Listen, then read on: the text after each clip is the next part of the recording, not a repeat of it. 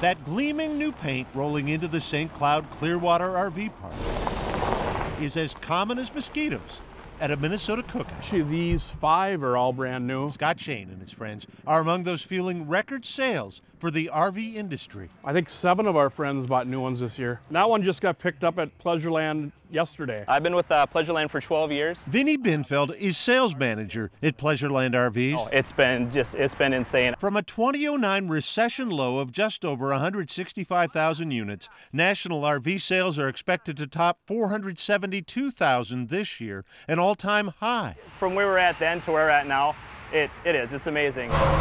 Low gas prices, low interest rates, low unemployment, all contributing to demand. This is the MPG by Cruiser RV. Plus, new features like this outdoor second kitchen, king size bed, and fireplace in this moderately priced trailer. You know, you're going to be able to sleep eight to 10 people in here real comfortably. Features appealing to millennials having children who never before pictured themselves driving something like this. No, you, I, I don't know that that's something the typical person pictures. So it'll be $20. Campgrounds are filling up. We had to turn a lot of people away last weekend. Mm-hmm. And this weekend too. We wanted the center island. Missy Shane's new family purchase typifies both the trend and the attitude. It's home away from home. I'd actually rather live in my camper than my house.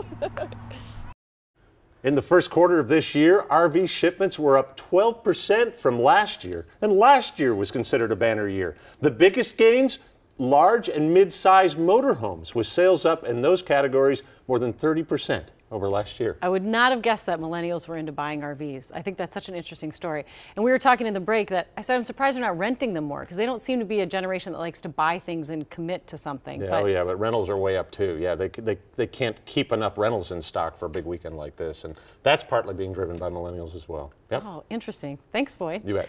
Well, as we